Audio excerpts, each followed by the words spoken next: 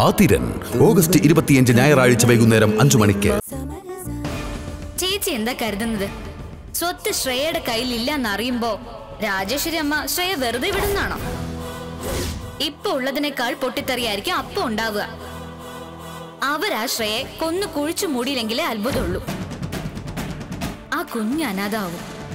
Police അന്വേഷണം വന്ന രാജേശ്വരി അമ്മയ്ക്കൊപ്പം ചേച്ചിയും കല്യാണേട്ടനും ഒക്കെ കുടുങ്ങും.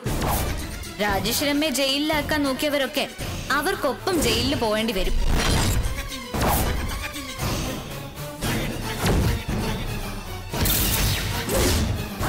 ഒക്കെ അറിഞ്ഞപ്പോ ശ്രേയും കുഞ്ഞിനെ ഇവിടുന്ന് പറഞ്ഞു വിടുന്നായിരുന്നു. പക്ഷെ നിങ്ങൾ ശ്രേയും കുഞ്ഞിനെ നിർത്തി രാജേശ്വരമ്മക്കെതിരെ കളിച്ചു. ഒടുക്ക എന്തായി? രാജേശ്വരമ്മയുടെ ആൾക്കാര് അവളെ കൊന്നോന്ന് ആർക്കറിയാം?